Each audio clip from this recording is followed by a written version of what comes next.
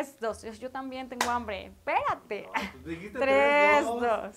Hola, ¿qué tal chicos? Mi nombre es Betsy Constantino y este es otro capítulo de Hallyu On Demand. Comenzamos.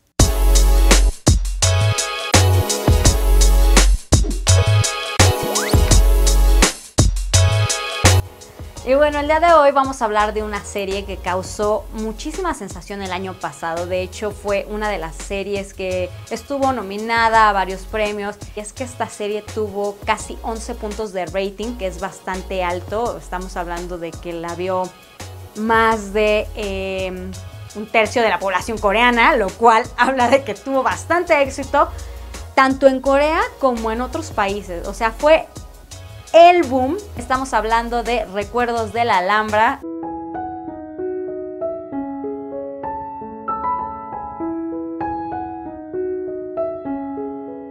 No el alambre, Daniel, porque hace rato estábamos hablando y alambre de suadero y no sé qué estaba El diciendo. hambre. Bueno, sí, sí, ya sé hambre, grabamos muy tarde Jalión de Man, pero es Recuerdos de la Alhambra, en la cual, por cierto, déjenme decirles que uno de los datos curiosos es que una chica mexicana, que por cierto tengo el gran honor de conocer, actuó como extra acá, que es Carla Fernández, síganla en sus redes. Este drama, en primer lugar, es garantía por sus dos protagonistas. Park Shin-hye, ella interpreta a una chica que vive en Granada y que tiene un hermano muy particular. ¿A qué voy con esto? Les cuento de qué trata Recuerdos de la Alhambra. Imagínense al típico chico nerd, así al chavo que es- su sueño es hacer videojuegos y entonces estudia programación y crea un producto nunca antes visto, con realidad virtual, con realidad aumentada.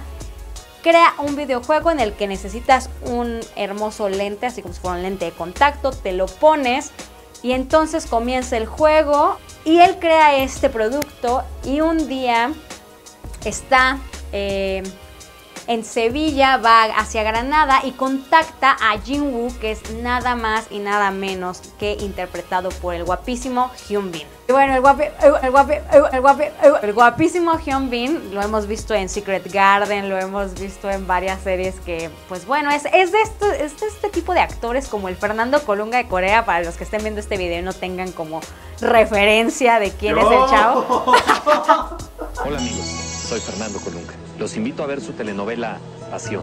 Él interpreta al CEO de una compañía de tecnología que se dedica a hacer videojuegos de realidad aumentada y realidad virtual. Y entonces se contactan y se quedan de ver en un hostal en Granada, que es manejado por la hermana de este chico programador, que es interpretada por Park Shin-hye. Y ahí es en donde empieza toda la historia. El chico de repente, bueno, le habla a Hyunbin, al personaje interpretado por Hyunbin, y desaparece. Nadie sabe dónde está. Sin embargo, Hyunbin tiene la prueba del juego y conforme va pasando el tiempo, va introduciéndose al videojuego y se da cuenta que la única forma de que le puedan vender ese videojuego es a través de la hermana de este chico, ya que él es menor de edad. Y ahí comienza la historia de ver quién se queda con el videojuego. Eh, hay alguien en otra empresa que quiere comprarlo. Entonces está, la verdad, está muy, muy loco. A mí me encantó. Vamos a hablar de, de lo que nos gustó de este drama. Además de los escenarios magníficos, la participación, bueno, Park Shin-hye siempre me hace llorar en cada drama. Es que ahí va la otra comparación, es que Park Shin-hye es como, es como la Adela Noriega de Uh. los, de los dramas coreanos. Perdón. ¿La Adela Noriega?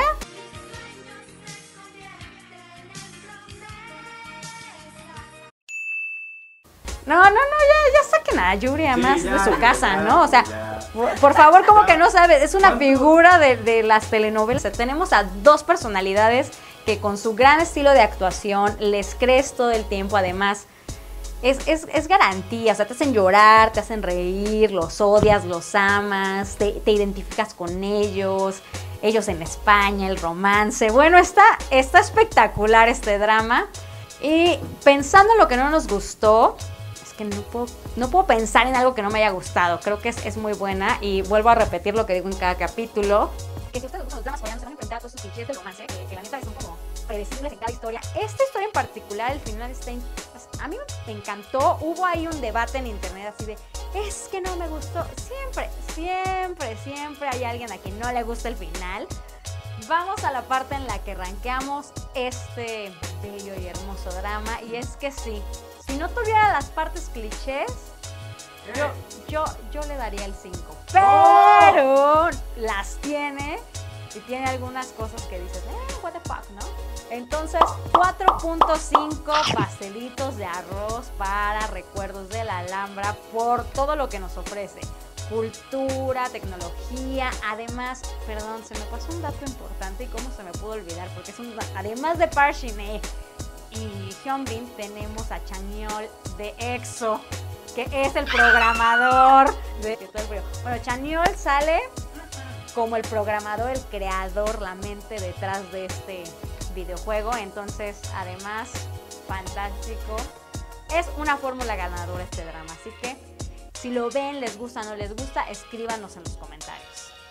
Y bueno chicos, este fue otro episodio de Harry on the Man y los esperamos la próxima. Recuerden que si les gustó, regálenos un like, un comentario, compártanlo con su abuelita, con sus tías, con el novio, con quien sea.